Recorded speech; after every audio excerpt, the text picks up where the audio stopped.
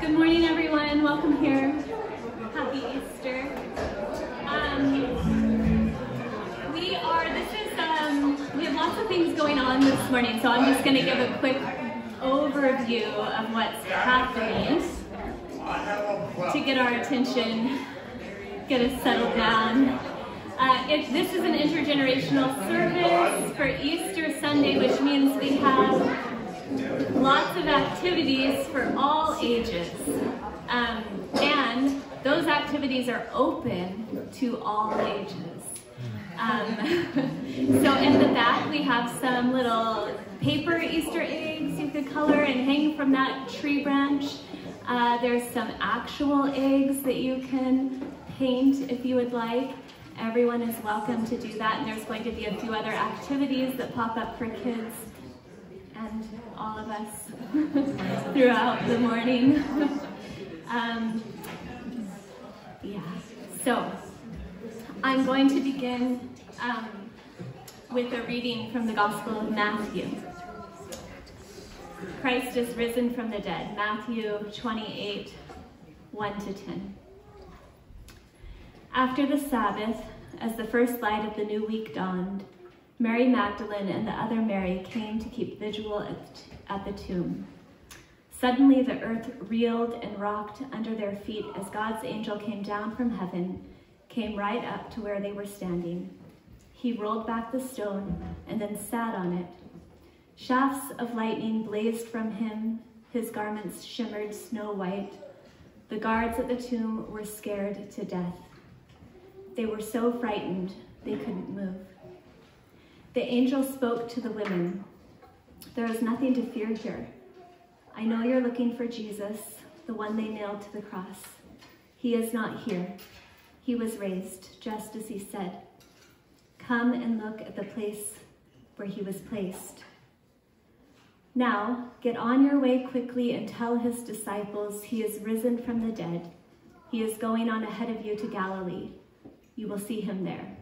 That's the message. The women, deep in wonder and full of joy, lost no time in leaving the tomb. They ran to tell the disciples. Then Jesus met them, stopping them in their tracks. Good morning, he said. They fell to their knees, embraced his feet, and worshiped him. Jesus said, You're holding on to me for dear life. Don't be frightened like that. Go tell my brothers that they are to go to Galilee and I'll meet them there. The reading from the Gospel of Matthew. Um, so it is not lost on me that I stand in a long tradition, um, and the tradition of Mary Magdalene particularly, when I say to you today, He is risen. He is risen indeed.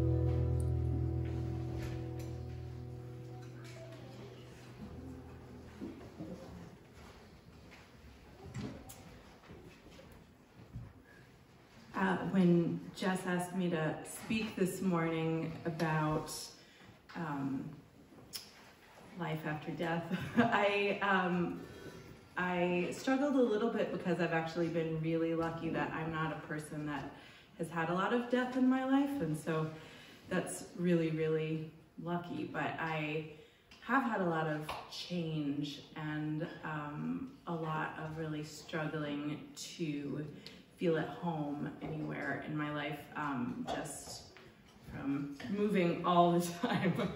um, so when I started to think about things that I have loved and lost and have been restored in a new way, I definitely uh, thought about this church and this community.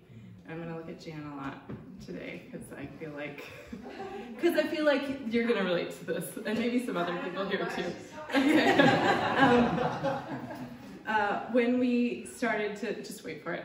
Um, when we started to think about moving here in 2018, it just felt like everything was kind of clicking. Um, you know, Don and I met and got married in an area where we neither one of us were from and so we had Jack and like Pete visited us and he was like think about moving back and we were like oh yeah we should like this is like a revelation um, and we had really struggled to make friends there um, and we had a few obviously like um, but just not like a really good community. Um, and we really wanted that for Jack. We wanted like a big, um, lovely group of people. Um, and Don had, Don went to SSU.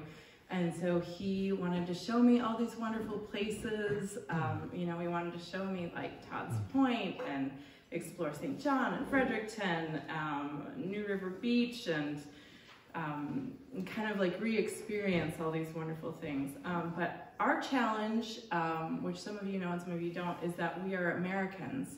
And um, we looked a little into getting visas um, on this side of the river, but it, that was just not an option. Um, and so we thought, no problem. We will get a house near the border, which we did. It's perfect, you know, super easy walking distance. Um, we'll just come as much as we want. We'll come as much as we can, and we'll just cross every day if we want to. Um, and for a year, it worked beautifully. It worked perfectly. I kept my passports in our in my purse, and I just we would just go across all the time. I remember us being out for a walk one day, and there was like we could see stuff was happening at SSU. There was like a bonfire festival. I forget what it was, and you know we just walked across, and it, worked perfectly. And Jack went to daycare on the side where, you know, we felt was a little safer. Um, and Don would walk over to um, Whiskey Wednesdays um, at Rick and Wilma's, and I got to know the parents of other little kids. And then in March of 2020, it all just evaporated. It was just gone. Um, and it felt so, so dark. Um, instead of, you know, having these crowded weekends, super busy, trying to fit everything in, not being able to plan the dinner with somebody because you're just so busy, you know, it just all went away. Um, and it felt so bleak. And I just remember like going on walks with Jack, just being like, hi, Canada, like on the river, and just felt so hard um, because we had really felt led here, you know. Don and I are both pretty mystic at times and pretty woo-woo, and we just like felt in our felt in our gut that we were supposed to be here, and it um, and felt really led here. Um, and some things happened in our lives that made us even be more like, oh no, we're definitely supposed to go there. So it felt almost like a little bit like we had been tricked, and it felt very much like like it doesn't feel fair to say this totally because I know people have dealt with death in here in a different way than I have, but it felt like death and it felt like it felt very bleak. Um, and I know that uh, everyone in here can relate for what happened the last few years. um, and we all lost things and we all lost people and we lost chances to mourn and say goodbye to dying friends and family, and we lost rituals and we lost rhythms, and I'd say we we've even lost some friendships. Like things haven't come back, but um, and I I know I've lost some trust in God um, and in some of the people in my life, but I hope that that's growing back. Um, because it, it feels like it should be growing back now and not in like a should like prescriptive harsh way but like it just it feels like it is coming back to life um, I, I was thinking about how i would pray in that time and just how again how dark that was and just how bereft i felt and um, and today mm, i'm delighted to say that my prayers uh, feel really different they feel a lot lighter they feel a lot more hopeful. They feel a lot more um, um, just grateful and light. And and one thing I really wanted to say about that is that is not because of an internal work that I did. That is not because I got my heart right with God. like, um, uh, it is because something was actually restored that was lost. Um, and sometimes that happens in life. And isn't that a miracle? Um, so I'm still learning how to engage again. Uh, it's been about a year. This is the first Easter we're back though. Um, and, you know, it's been about a year and it, you know, again, things have been coming to life this year again. Um, yeah, and I wanted to say, I'm going to skip a few things, um, but I wanted to say that um, I know it could all go away in an instant again. Like, we could have another pandemic. We keep being told by the news. and now we have that sort of uh, fear ourselves. Um, and also, like, we're still not Canadians. Like, we still are Americans trying to engage in this community. And we are guests here and we could be asked not to come back. Something could happen. And there's a million things that could happen like that. And, um, which now I can feel in my body. um, and so it's this weird existential thing of wanting to engage really deeply in something that could go away in an instant and isn't that life? um, so I'm just really grateful to be here and um, I'm just really grateful to be engaged with you all today. And that's what I'm trying to do now. and we'll see like probably with mixed results because I am a person who loves to plan ahead and be in my head and have dreams and goals and I am still that person and I will always be that person. But the lesson and the prayers I am trying to take out of the pandemic are um, just be really grateful for what I have today and for the life that is available today and what's going on in life today. And, um, and so I'm just really grateful for all of you. Um, he is risen. Amen.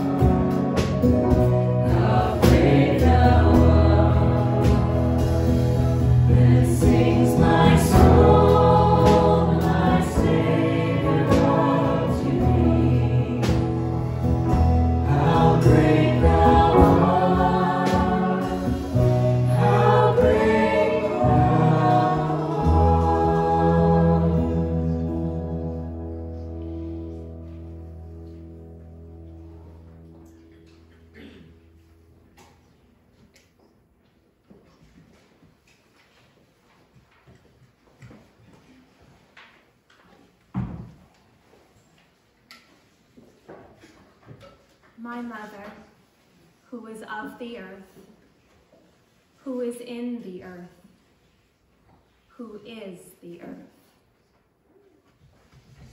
For those of you who don't know, my mom died a year and a half ago. Her absence was and is palpable, and I often find myself feeling like someone is missing and just about to come in but then remembering that she isn't. But then, nature stepped up. I found connection to her through the earth, through the roots that twine around each other, reaching, touching, anchoring, and holding each other. My mom lies buried in a cemetery surrounded by and full of trees. She is connected to the roots and through them to the trees. I tell Willem that she is learning the language of the trees and that when we hear the wind blowing through the leaves, that is the language that Momo speaks.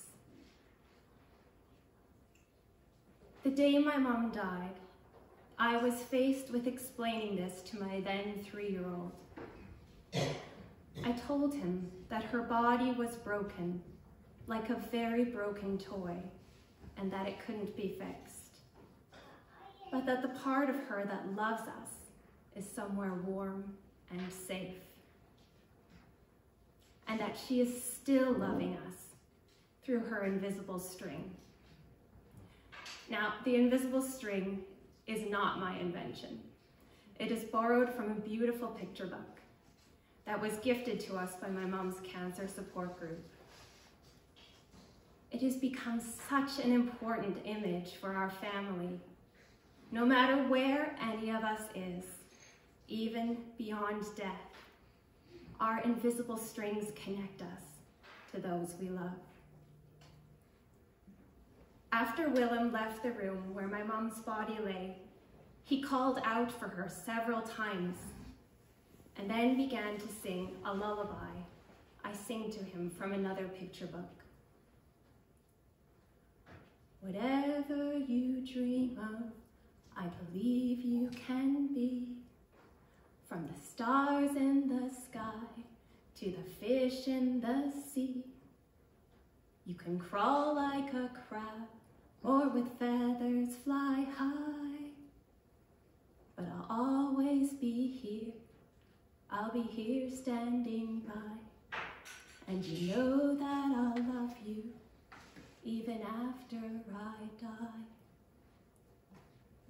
We are always connected to those we love.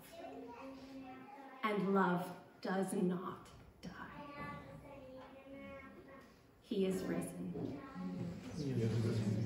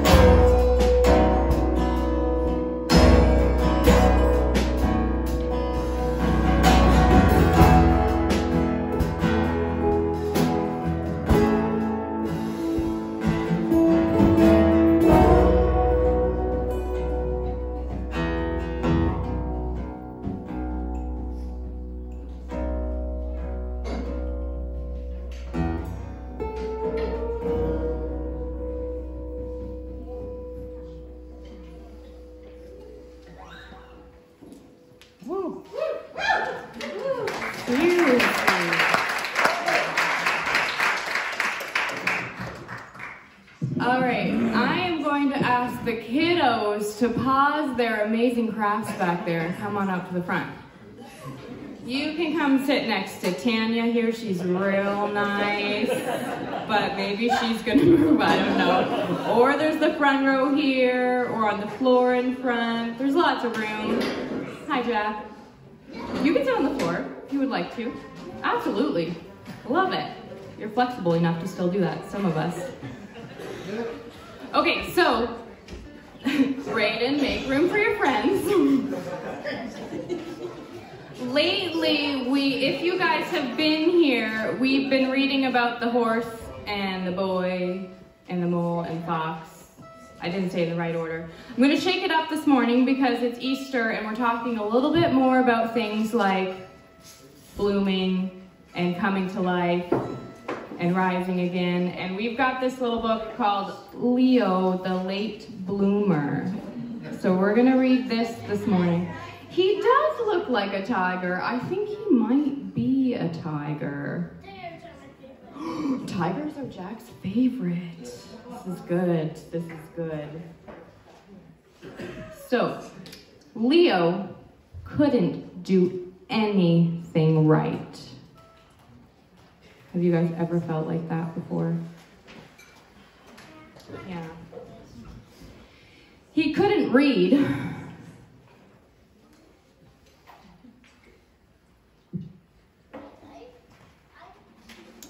He couldn't write.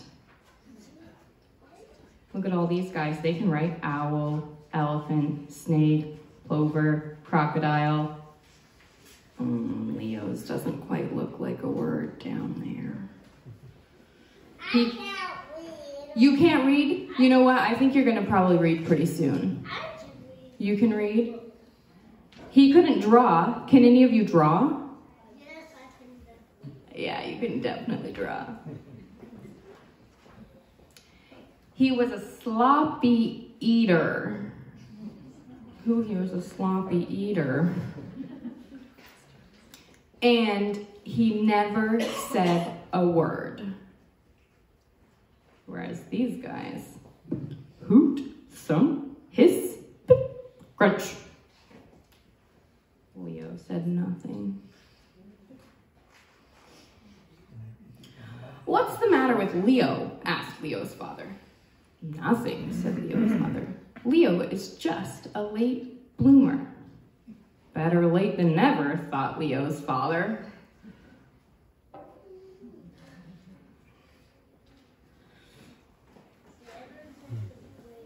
Every day, Leo's father watched him for signs of um, blooming.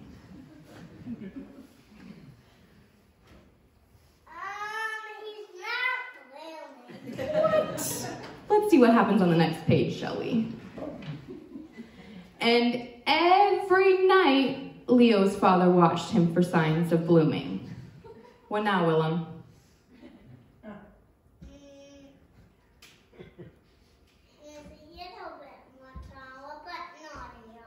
A little bit more taller, but not a lot. Okay. Mama, why is it the screen going? Are you sure Leo's a bloomer? asked Leo's father. Patience, said Leo's mother. A watched bloomer doesn't bloom. So Leo's father watched television instead of Leo.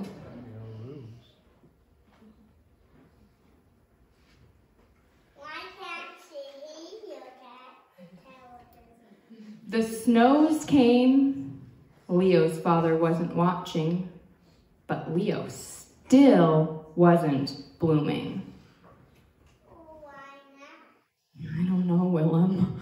I'm gonna keep reading so we can find out. the trees budded. Leo's father wasn't watching, but Leo still wasn't blooming.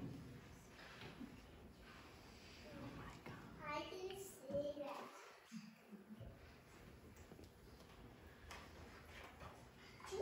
Then one day, in his own good time, Leo bloomed.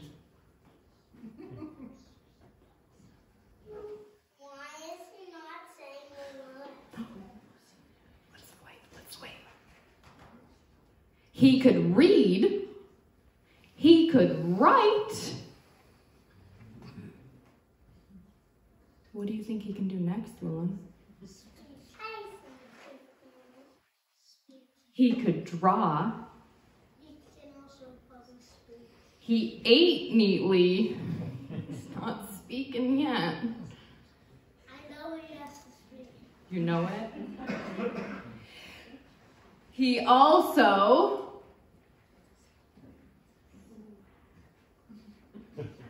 He also spoke, and it wasn't just a word, it was a whole sentence. And that sentence was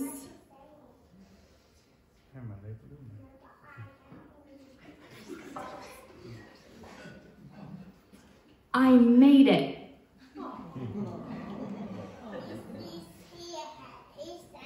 He, said, I made it. He's bloomed. Wasn't that a good story? I like it. Okay, next up. This is a very big room with not a lot of hiding spots. But, ooh, somehow, someone has managed to hide a few things in here that some might be really easy to spot, some might be really hard. Yeah, that's only what I spotted yet. Are we supposed to find them? You are allowed to find two eggs each. Okay, but don't go yet. Those of you that are a little older, maybe look at harder spots. Don't just grab ones you just see. The other thing is they are all over this big room. You do not need to go out any doors. And you are absolutely not allowed on the stage. I'm going to ask your parents to help watch that. Parents, please watch your children. I'm going to let them loose to look for Easter eggs, and I'm going to let the grown ups loose for coffee. I'm going to go pull out the coffee. Have so much fun.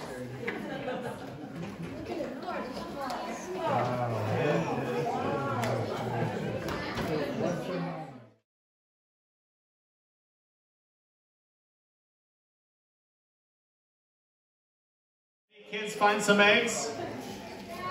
Yeah? Any, any of them still missing for us to find a few months from now? Yeah. Okay. Love that. We've definitely found Easter eggs in our house years later after they were hidden. One thing we learned is do not put eggs inside the back of your subwoofer. Yeah, that was a mistake. Okay, um, just a few announcements today. One is 2 o'clock this afternoon. Neighborhood Works has a meal open for everyone. Uh, Easter banquet, Easter meal. Uh, so 2 o'clock, everyone would be welcome at Neighborhood Works if anyone is looking for a place to go. Uh, next, this coming Friday, the 14th, I believe it is, there's going to be a special coffee house how many years has the coffee house been going on? 10 years celebration this Friday. And tomato, tomato, is that, did, did I say that right? Yes. Tomato, tomato, featured band. So Friday. Um, we also, this is not an, well, this is an announcement, I guess, but not about something that's to come, but something that was which was last Sunday we had a soup and bread fundraiser. And the fundraiser's purpose is to do something about this floor with all those missing tiles. And uh, it went incredibly well. First of all, a good time was had by all. So great food was was eaten and enjoyed together, and we raised a great bit of funds. And there was a a couple big gifts that came already before that fundraiser and uh, another that came after. And like we're doing incredibly well. Like we're almost there. Yeah so uh, so uh, so it's amazing how well that's going. And uh, so we're gonna have it's gonna happen. We're we're going to have a new floor. And some of us are going to get together on April 30th Tom, is this correct? I, I heard that you are the optimist who says we can do this on, in an afternoon. And uh, so uh, talk to talk to Hayden if you can be there if you want to know any details. Is that an okay thing to say? Uh, April 30th afternoon to be floor tile removers, and then um, then the floor experts are going to come in sometime after that, and uh, we're going to have a new floor.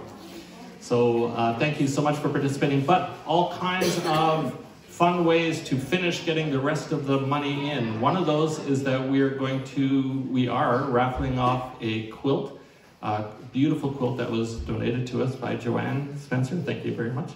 And um, you, if you haven't seen where you can uh, buy some entries or tickets, um, it's all over social media.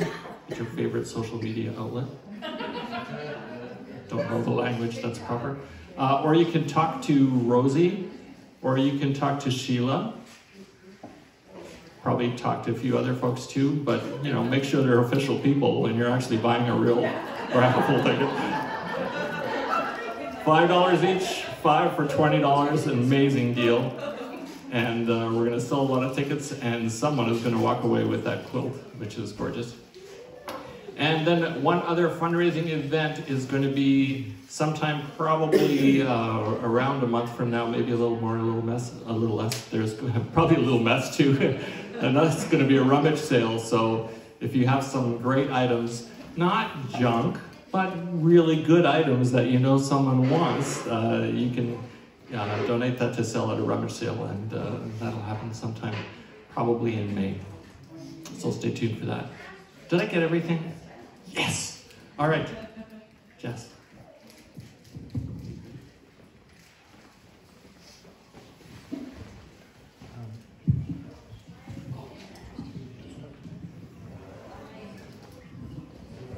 Here we are. Thank you for the beautiful music. That music was just incredible, and I want you to know that they're coming back. Uh, so we had a couple of witnesses come up here already today and uh, I'm going to offer an Easter homily. And then we'll have some more music and a final witness, we'll be on our way. So that is all to come. Um, so For weeks now, I've been imagining how I'd approach a sermon on Easter Sunday.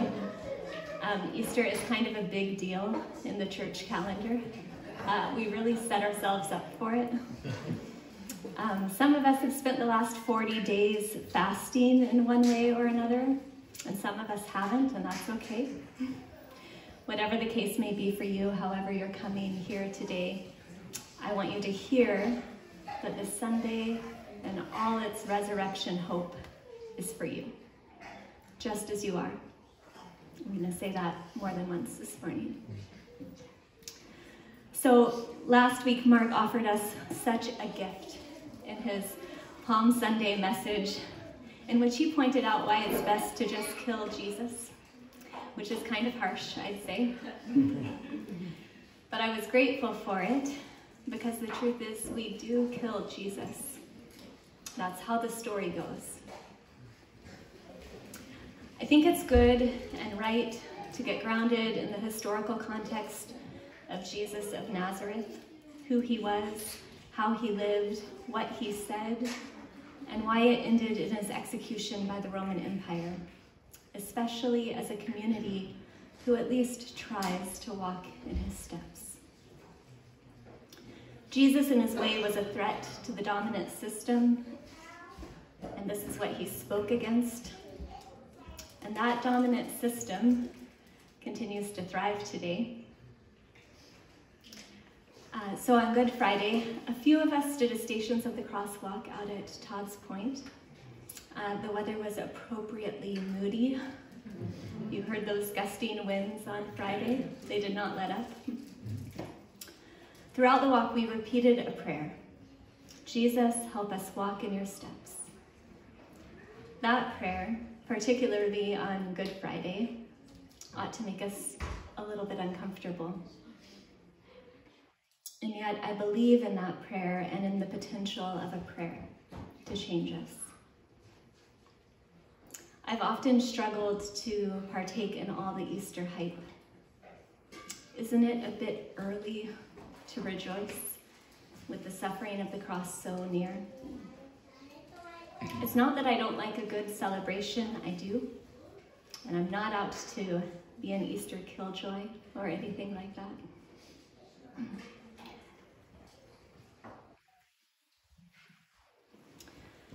Um, but the truth is, the very notion of a resurrection requires the reality of death. Real, complete, all hope is lost and buried in the ground, death. Jesus is no more sheltered from that reality than we are. A resurrection faith is a vulnerable faith. During our walk, one station marks the moment Jesus falls while carrying his cross. And the reading to reflect on this is taken from the book of John, chapter 12, 23 to 25. I'm reading it from the message. Time's up. Jesus answered, The time has come for the Son of Man to be glorified. Listen carefully. Unless a grain of wheat is buried in the ground, dead to the world, it is never any more than a grain of wheat. But if it is buried, it sprouts and reproduces itself many times over. In the same way, anyone who holds on to life just as it is destroys that life. But if you let it go, reckless in your love, you'll have it forever, real and eternal. Jesus, help us walk in your steps. Many of us resonated with the reading from Nadia Bolz-Weber last week in which she pointed out that we're not all that different from those first disciples um, when she's asked if she thinks Jesus would recognize the church if he showed up today, she answers, oh, for sure. I mean, the church is full of the exact same people it has always been full of. He'd look around and be like, yep, these are my people. The ones who go ahead and kill Jesus, and the ones who betray him, the ones who run away and hide and deny him, They are also the ones who partake in the mystery and the hope and the reality of his resurrection. While other gods ascended directly to the heavens, Jaden did. Jaden. Jesus, Jaden is my daughter. Jesus. Same, same. Same. Descended. Jesus descended into Hades and comes back to earth. Ilia Delio explains, quote, Christ is the one who ushers in a new way of life. According to Tillich, Christianity is more than a religion. It is the message of a new creation. So to live in the risen Christ is not to be dogmatic, entrenched, in static beliefs, or focused on sin. It is simply to express by one's life that you have seen something new and you want to tell others what you have heard. That in the midst of the old creation, there is a new creation. For these past few weeks, I thought to myself I'd like to preach an Easter sermon titled, It Turns Out That You Can't Kill Love. And I think that's true. When I saw Mark, Mark's sermon title, I also thought that would be a great response. Um, but the thing is, we do kill love in all kinds of ways. Hearts and lives and homes and communities can be crushed beaten beyond repair, killed and buried, and they are. Um, so most of you know that I did my graduate studies at SSU and studied under true greats like Lorna Jones and Peter Fitch and Walter Thiessen and Bradley Jersak. I think I'm pretty lucky one of the standout moments for me happened in a class in which Brad decided to pull up the paschal homily of St. John Chrysostom, an early church father and theologian from the fourth century. Um, our class took turns reading his homily out loud that day, and as we read it, I felt like I was seeing and hearing the good news for the first time. This was the theological wisdom I'd been searching for, but unable to find in my Western evangelical context. For years, my faith had felt crushed, beaten down, dead, and buried. The punitive, retributive, prosperity gospel minded God I'd inherited no longer worked for me. And while my life and livelihood as a missionary depended on it working I simply couldn't support it anymore. I needed to let it go, and I did. I quit missions, explaining that I could no longer believe the gospel of Jesus as I understood it to be. In fact, I sat with one pastor and said, I can't believe this. My heart won't let me. He who holds on to life just as it is destroys that life. But if you let it go, reckless in your love, you'll have it forever, real and eternal. Eventually, after the loss of the life and identity I had known, little seedlings of faith began to sprout up again through a loving church community in downtown Winnipeg to whom I showed up, married with three young children after eight years of missionary work in Malawi, saying, I don't know if I believe in Jesus, but I believe in love. Ongoing encounters with that love eventually propelled me to pursue a degree in a theology that might honor it. On the back of his book, Learning to Interpret Toward Love, Peter Fitch writes, Sometimes the heart is a better theologian than the mind. Amen to that. I'm aware that we are a hodgepodge group of people gathered here today. I hope that's okay to say. There are some longtime believers in the room, some agnostics, some atheists, some who dabble in pagan rituals, and all are welcome here. Some of us have the faith of strong oaks. Some of us feel like fragile young saplings, and some might feel like faith is dead and buried in the ground. You, in any state at all, are welcome here, just as you are. And as you'll see in here in just a minute, I'm not the only one with an Easter message like that. I want to offer us some water from an old stream of faith that still flows toward us today with just a little sprinkle of my own resurrection hope that some of these words might soften the seeds of love long planted in you and in me. The homily I mentioned reading in that class six years ago was written 1600 years ago. Perhaps you will be as surprised as I was by the good news of Easter, as St. John Chrysostom imagined it to be. So I've asked for a little spontaneous help with this reading, and we have some brave readers who are going to do that. Um, but Deanna will pull it up on the screen too, so you can follow along. Is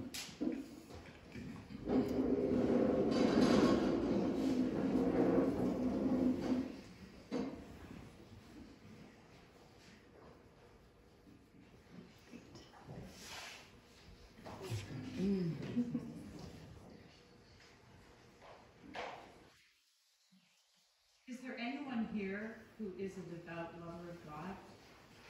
Let them enjoy this beautiful, bright festival. Is there anyone here, anyone who is a grateful servant? Let them rejoice and enter into the joy of their Lord. Are there any now weary with fasting? Let them now receive their wages. If they have toiled from the first hour, let them receive their due reward. If they have come out of the third hour, let him with gratitude join in the feast. And they that arrived after the sixth hour, let them not doubt, for they shall have sustained no loss. And if any have delayed until the ninth hour, let them not hesitate. Let them come to us. And they who arrived only at the eleventh hour, let them not be afraid by reason of their delay. For the Lord is gracious and receives the last even as the first. He gives rest to him who comes at the eleventh hour, as well as to him who toiled from the first. To this one he gives, and upon another he bestows. He accepts the work as he greets the endeavor. The deed he honors, and the intention he commends. Let us all enter into the joy of the Lord. First and last alike receive your reward. Rich and poor rejoice together. Sober and slothful celebrate the day. You that have kept the fast, and you that have not, rejoice today, for the table is richly laden. Feast royally on it, the calf is a fatted Let no one go away hungry. Partake all of the cup of faith. Enjoy all the riches of his goodness. Let no one grieve at his poverty, for the universal kingdom has been revealed. Let no one mourn that he has fallen again and again, for forgiveness has risen from the dead. Let no one fear death, for the death of our Savior has set us free. He has destroyed it by enduring. He destroyed Hades when he descended into it. Put it into an uproar, even as it tasted of his flesh. Isaiah foretold this when he said, You, O hell, have been troubled by encountering him below. Hell was in an uproar because it was done away with. It was in an uproar because it was mocked. It was in an uproar, for it was destroyed. It is in an uproar, for it is annihilated. It is in an uproar because it is now made captive. Hell took the body, and it discovered God. It took earth and encountered heaven. It took what it saw and was overcome by what it did not see. O death, where is your sting? O Hades, where is your victory? Christ is risen, and you, O death, are annihilated. Christ is risen, and the evil ones are cast down. Christ is risen, and the angels rejoice. Christ is risen and life is liberated. Christ is risen and the tomb is emptied of its dead. For Christ, having risen from the dead, is become the first fruits of those who have fallen asleep. To him be glory and power forever and ever. Amen. Amen. Thank you. One of the reasons this homily landed as such good news to me is because I struggled with Christian understandings of hell. I just couldn't reconcile any of them with a loving creator. So to read the words, let no one go away hungry, partake all of the cup of faith, enjoy all the riches of his goodness, let no one grieve at his poverty, for the universal kingdom has been revealed. That was quite something.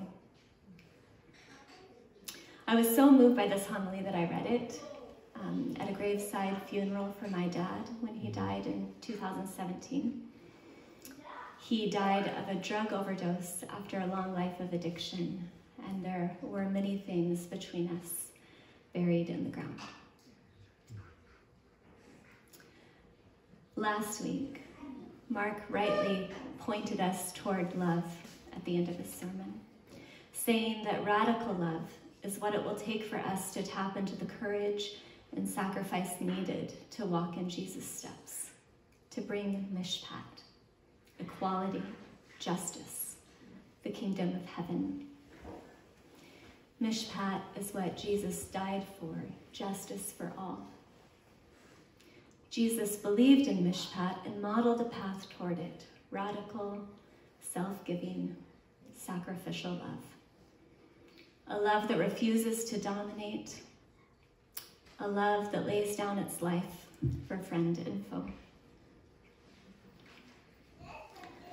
Listen carefully. Listen carefully. Unless a grain of wheat is buried in the ground, dead to the world, it is never any more than a grain of wheat. But if it is buried, it sprouts and reproduces itself many times over. In the same way, anyone who holds on to life just as it is destroys that life. But if you let it go, reckless in your love, you'll have it forever, real and eternal. Jesus, help us walk in your steps.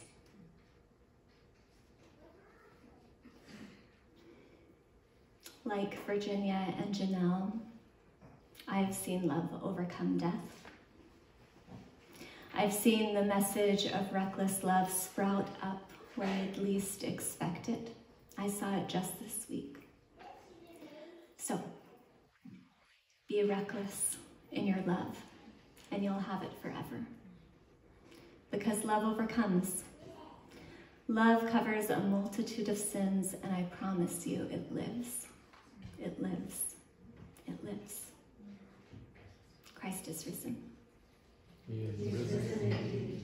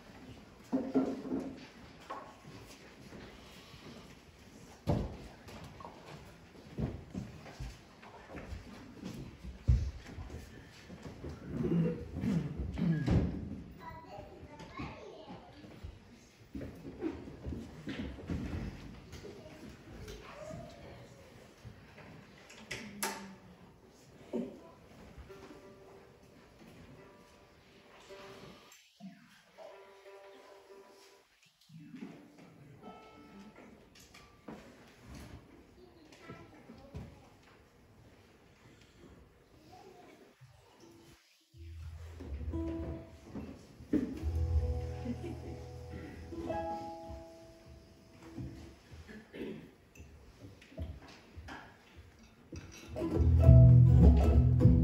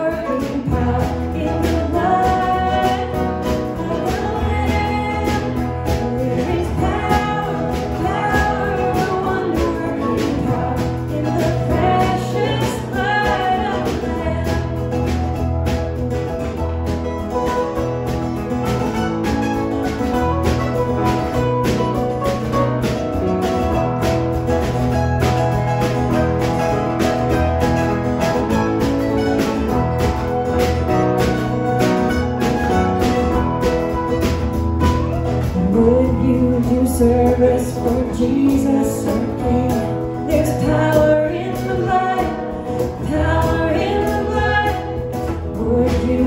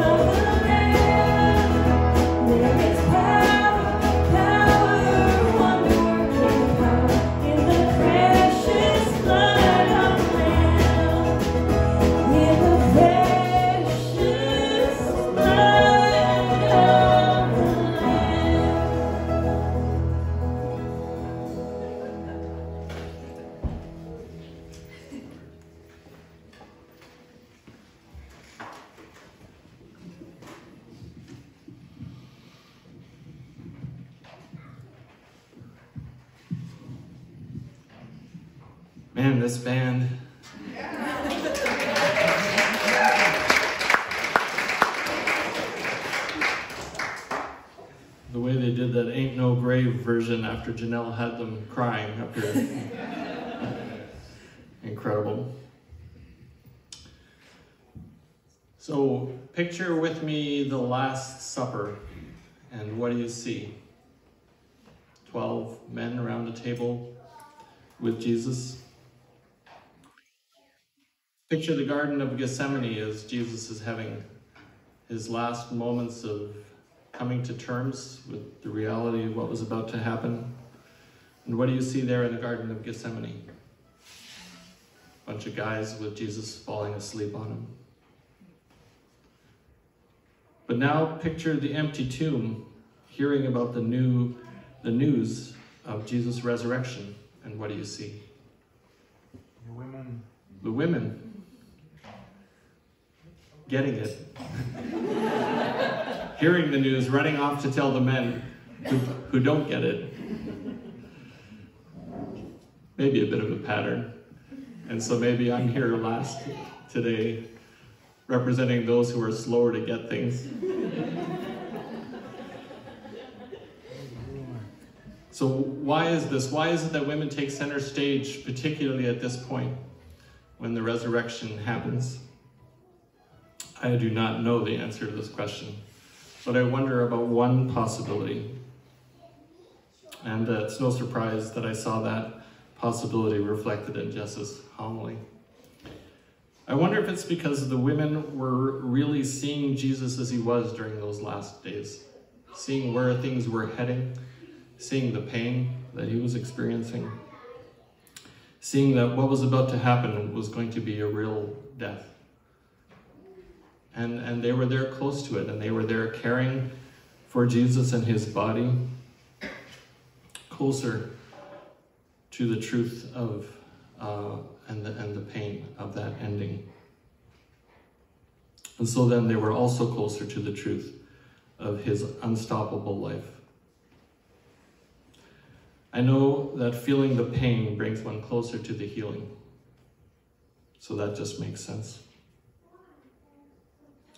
So maybe a similar dynamic is why it was hard for me actually to respond to Jess's invitation to share on, um, you know, uh, bearing witness to uh, love overcoming death.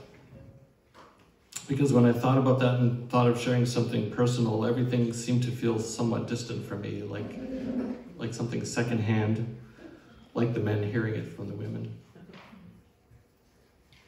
So when I thought of it, my own personal example uh, feels very simple and, and yet a little mysterious, like the resurrection, I guess. Because what I experience um, when something like death or like, you know, the pain of this world, which is um, deep and wide, when I think of days that are just hard and challenging, then it, you know, things can, can get low, things can get hard, can get dark for a period of time. And then, mysteriously, there's a return of inexplicable hope. So the other day, just a tiny example, I had a cold. You might have seen me here with a mask last week. And uh, as sometimes happens when you have a cold, my brain was in a bit of a fog for a few days, trying to power through this thing. And then all of a sudden I was well. And I just realized it felt great to be well. And I just felt this enthusiasm for, for life. I felt like my brain actually functioned and, and worked, and it was possible to have life and energy again. So that's, that's the simplicity of my experience. That whenever I'm brought low, regardless of how deep and wide the cause, one day I just wake up and then there's hope and there's energy to press on. So I think it's okay when the resurrection doesn't make any more sense than that. Love and hope simply return, and there's life. He is risen.